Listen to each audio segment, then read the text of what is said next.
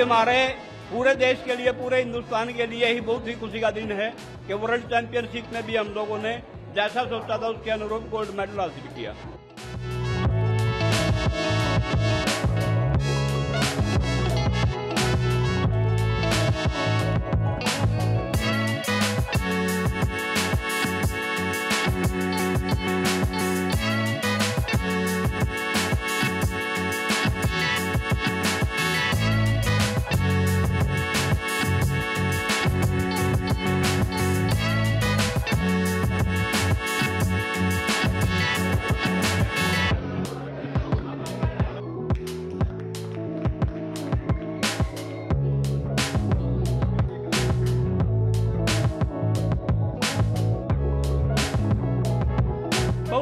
खुशी का दिन है हमारे पूरे हिंदुस्तान के लिए।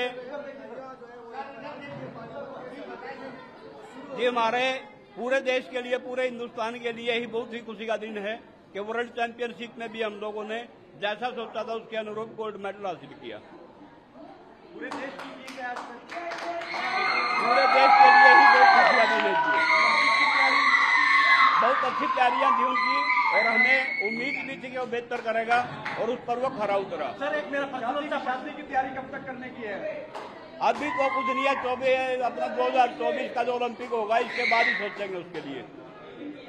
अब क्या कुछ क्या स्वागत करने वाले हैं? सर अगर नीरज चोपड़ा आता है क्या कुछ रहने वाली है जी अपनी तरफ़ से पूरी तैयारियाँ रखेंगे हम लोग। अभी उसके तीन चार इवेंट बचे हैं। उसके बाद जब भी इंडिया आएगा बड़ा खुशी से मनाएँगे सब कुछ। अब लड्डू वगैरह बट रहे हैं तो सर लड्डू वगैरह हाँ हाँ क्यों नहीं? बट रहे हैं सभी लोग, बांट रहे हैं खुशियाँ मना रहे हैं सभी।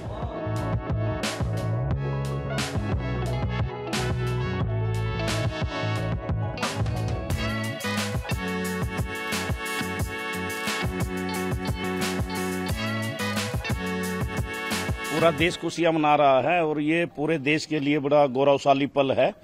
हमारा बरसों पुराना सपना पूरा हुआ।